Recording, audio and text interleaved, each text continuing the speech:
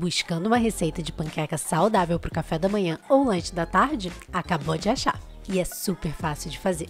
Você vai misturar ao ovo açúcar mascavo, farinha de aveia, canela, fermento químico e psyllium, que é opcional, mas aumenta a quantidade de fibras. Misture bem até ficar uniforme. Agora, numa frigideira quente e com um pouco de azeite, vai adicionando colheradas da sua massa. Em fogo baixo, deixe cozinhar até começar a formar bolhas.